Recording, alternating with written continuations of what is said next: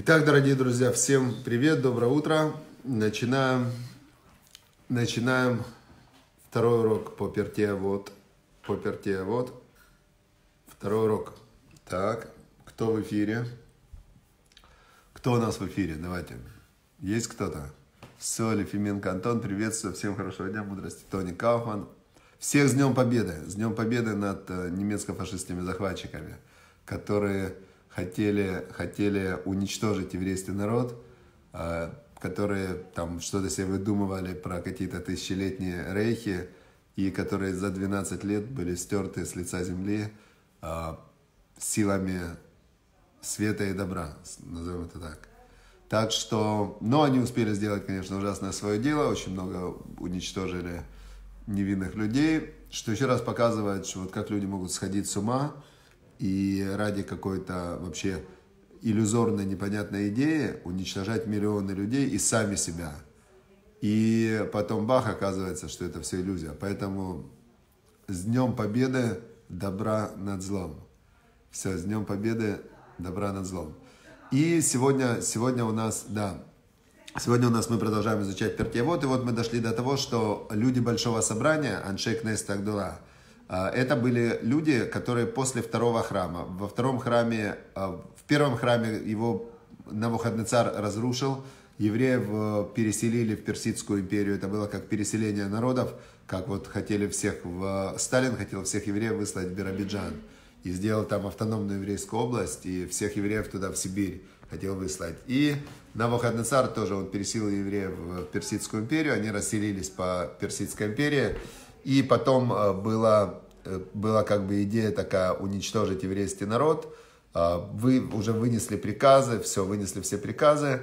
И потом в последний день пере, все поменялось. Все поменялось. И вот мы в Пурим вспоминаем этот день, как все перевернулось и все поменялось.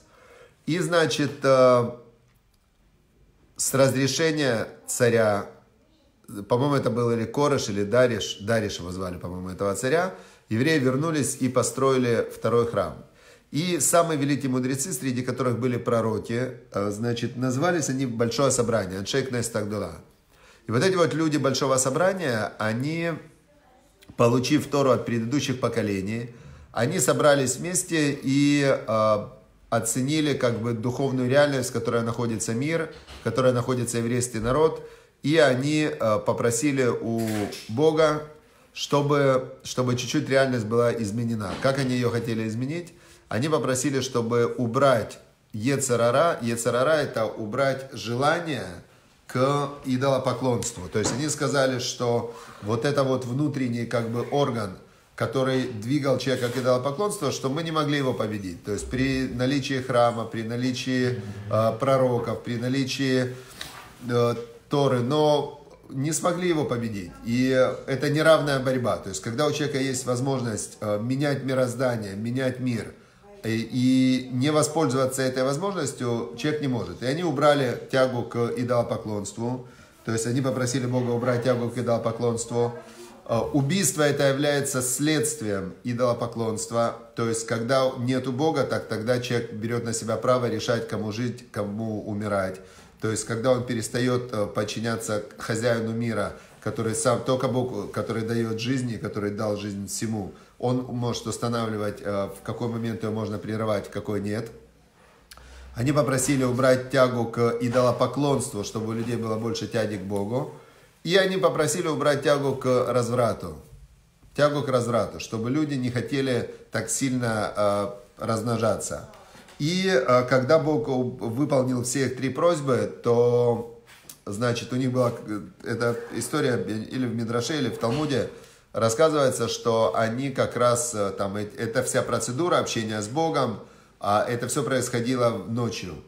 И уже наступило утро, и с утра они попросили, чтобы им принесли там яйца, и, ну, чтобы яйца, хотели яиц в смятку. А не было яиц, не было яиц, потому что если убрать вот это вот внутреннее стремление к размножению, вот эту вот именно внутреннюю программу, то тогда все живое перестает размножаться. То есть человек это как бы квинтэссенция, это отражение всего мироздания. То есть идет вначале все мироздание, и человек вершина вот этого мироздания, и те законы физиологические, которые, которые действуют в мире, они же отражаются в человеке. И поэтому, когда убрали, а, убрали вот эту вот тягу к размножению, то даже куры перестали нести яйца. И когда куры перестали нести яйца, они поняли, что без этого мир не будет существовать. И, значит, а, они тогда попросили в два раза уменьшить. То есть то, что есть у нас сегодня, а, тяга к размножению, это в два раза меньше, чем, в два раза меньше, чем было когда-то. Можете себе представить тогда, с, каким, с какими соблазнами им приходилось э, справляться. То есть они просто не могли, не могли прямо себя контролировать вообще. Теперь и вот эти, э, значит, это я вам рассказываю как бы такую общую кон, кон, контекст. Это контекст, да, как бы общую картинку, э, чтобы вы поняли, кто такие люди Большого Собрания, люди Великого Собрания. И вот они нам, но теперь мы как раз переходим все пертия вот, вся, вся вот эта книга «Поучение отцов». Она дает принципы жизни. И интересно, что они вот в каждой мишне выделено три основных принципа. И вот эти вот свою систему 3П, что нужно сделать три вывода, я взял как раз из вот. Теперь понятно, откуда я взял, что нужно делать всегда три вывода. Так вот, э, люди Великого Собрания, они сделали три вывода. То есть они в, как бы всю свою философскую систему они сформулировали в трех главных принципах. Да, первый принцип они сказали «Аву метуним бадин» – «Будьте медлительны в суде». То есть не рубите с плеча, не судите быстро. Они сказали так, когда было пророчество, тогда пророки, они присоединялись к божественной реальности, и они видели суть вещей. Но если нет пророчества, то любой суд, то есть любая оценка, любой ярлык, любое решение, оно является очень односторонним, и оно не учитывает множество факторов. Поэтому они сказали, люди Большого Собрания, что будьте медлительны в суде, то есть принимая решение, э, подумайте, семь раз отмерь, один раз отрежь, они сказали. Как еще там дальше они объясняют, что значит быть медлительным в суде, это значит марбе яйца, марбе твуна. Много советуешься, умножаешь понимание. Что еще они сказали? Будь медлительным в суде, не решай эмоционально, утро вечера мудренее. Э, ну и так далее, и так далее. То есть первый принцип, который они дали, Аву метуним бадин, будьте медлительны в суде, не рубите с плеча, не судите быстро. Второе, что они сказали, второе то, что они сказали, в Амиду Талмидим Арбе, и устанавливайте много, много учеников. Что они имели в виду?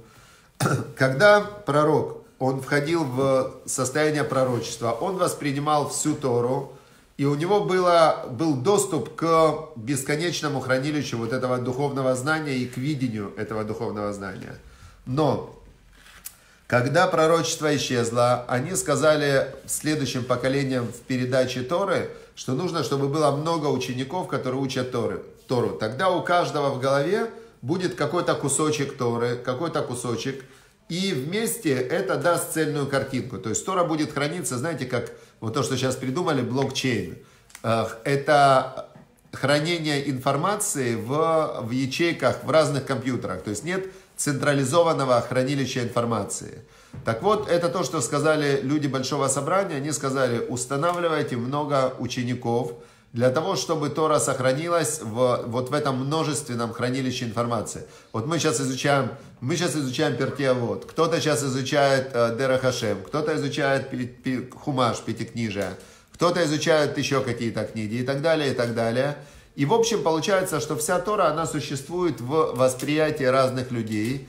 Э, кто-то Кабалу учит, кто-то учит Аллаху, законы, кто-то учит э, Мусар, это учения нравственности. То есть вся Тора сохраняется. Почему? Потому что сказали люди Большого Собрания, в Эмиду Талмиди Марбе, устанавливайте много учеников, в Асу Сияг для Тора, они сказали, и сделайте ограду для закона. То есть, так как они сказали, на сегодня пророчества не существует, а, закон, а, мало кто его знает точно, полностью и идеально, Поэтому сказали великие мудрецы Большого Собрания, что что нужно сделать? Нужно вокруг каждого запрета, знаете, как вот есть минное поле, да? Можно было бы поставить над миной самой, поставить над миной надпись «Здесь мина, сюда не наступать».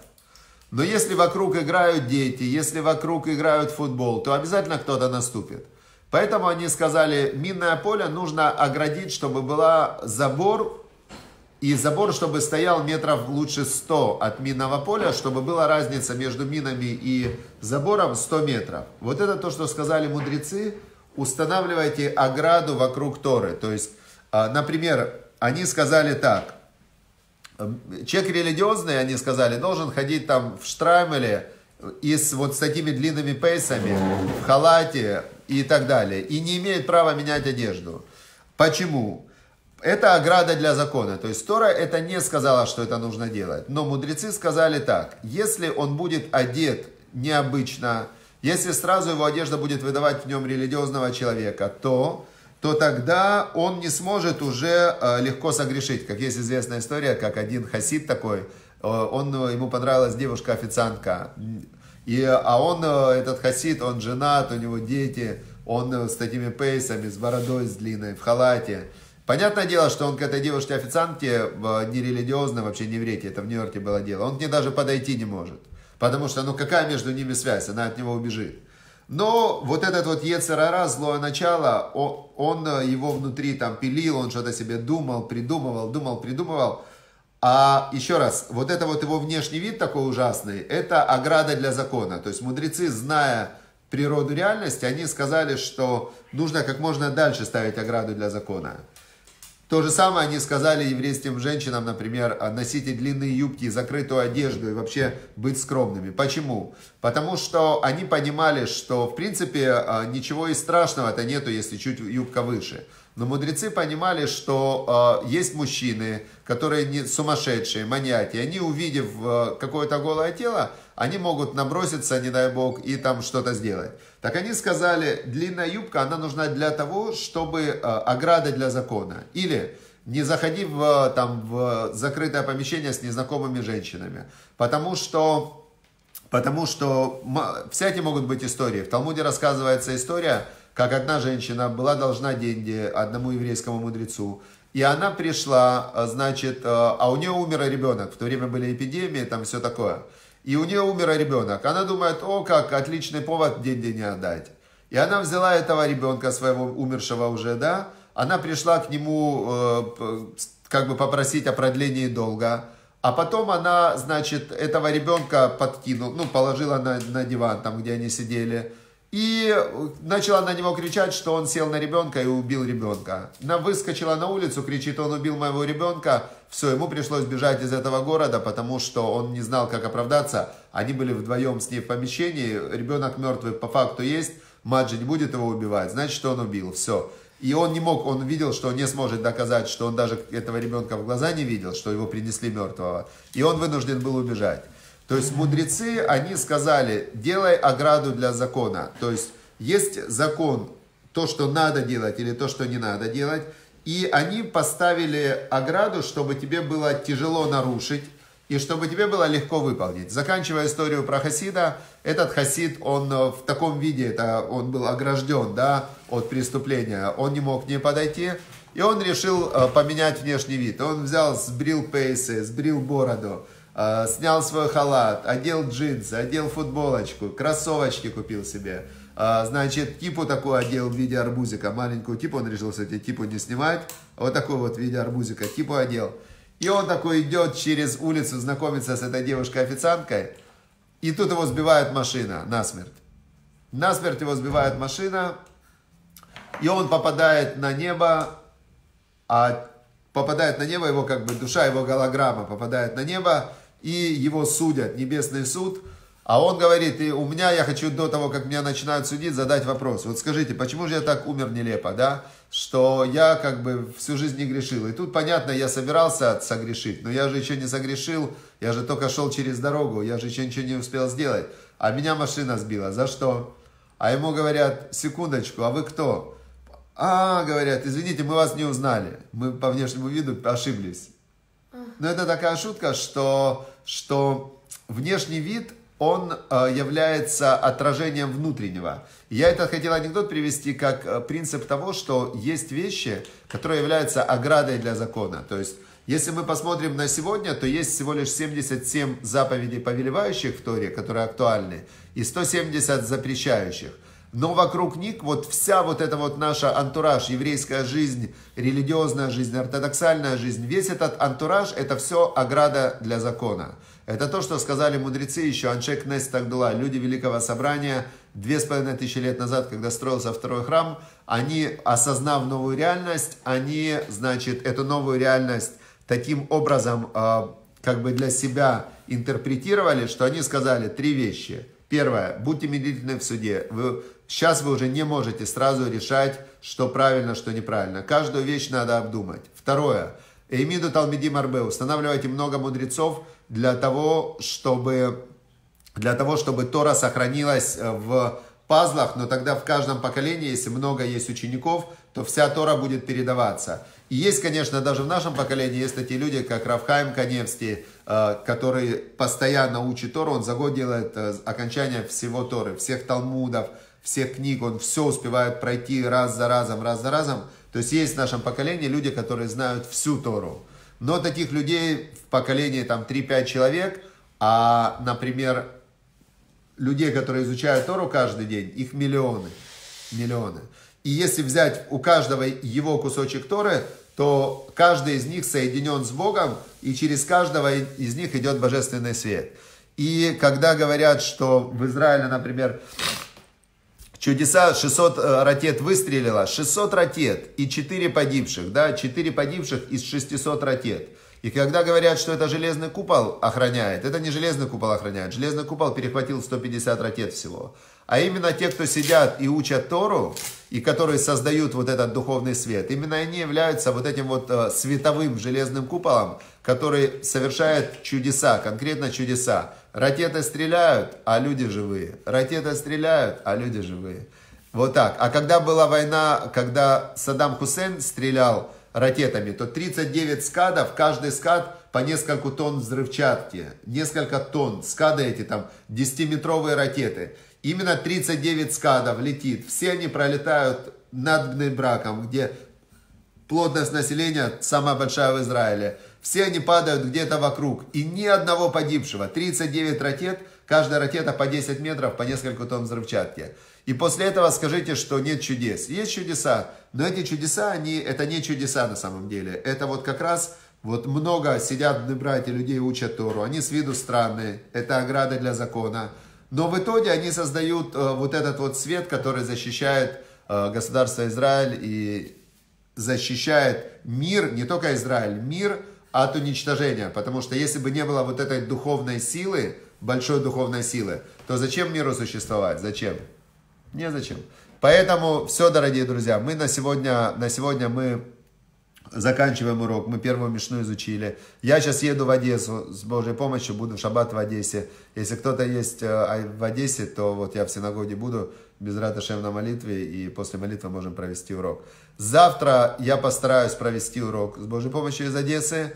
И, значит, э, все, сделайте выводы, свои выводы, обязательно делайте выводы, потому что вот эта вот система делать три вывода, именно фиксировать, структурировать полученную информацию, она очень помогает. То есть, когда вы делаете вот эти вот выводы, то эти выводы, три ваших вывода, они для вас являются тем, что вас будет вести. Все, друзья, удачи успехов. Шаббат шалом. Э, шаббат шалом, удачи успехов. И, значит, э, всем хорошего дня. Удачи. Все, пока.